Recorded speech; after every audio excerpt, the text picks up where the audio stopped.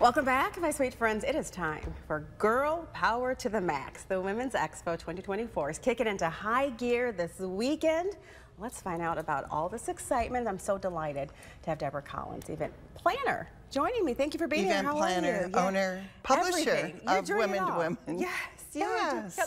So first, tell us about Women to Women that you are the publisher. I am the publisher. Yeah. Uh, Women to Women magazine has been publishing now for 15 years. Wow. I, I, just, it's amazing to me because it just, it really was born out of, um, I felt a need to be yeah. able to promote the Women's Expos, which yeah. we've been producing for the Flint Journal, for Saginaw News, wow. for over 20 years. That is so amazing. So yeah. it is time for the Mid-Michigan women to really get empowered. The expo is going to be jam-packed with speakers, workshops. Who's speaking? What do we have to look forward to? Oh, we have 15 of our authors and writers.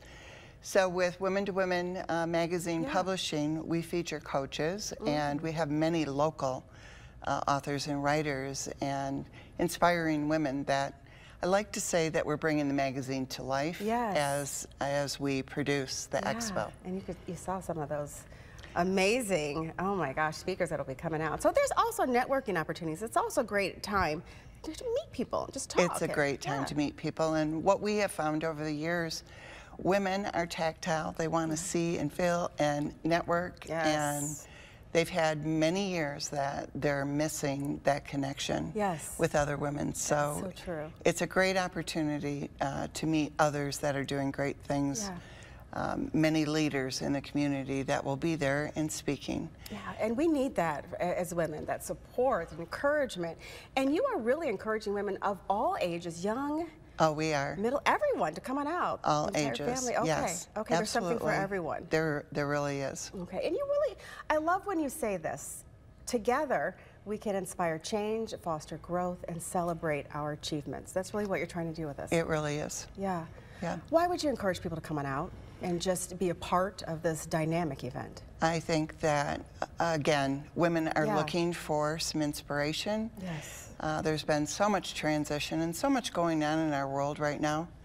And uh, it's an opportunity yeah. to let all that go, just to be with the girlfriends. The restaurant's open oh. uh, throughout the event, yes. so um, you can get a couple girlfriends yes. and just come out and spend the day, spend the weekend hang out with your girlfriends, meet some new girlfriends. Absolutely. so when is it, where is it, and do people need to register? Yes. Okay. Um, you can get tickets at the door, but we encourage you to buy those tickets in advance. Okay. Um, you can find them online as well. So the tickets are uh, $12 each day or nice. $20 for the weekend pass. Nice. Uh, all of our attendees will receive a women to women bag as well as a magazine. Oh. So the latest issue of the magazine with the holiday gift guide yeah. will be handed out.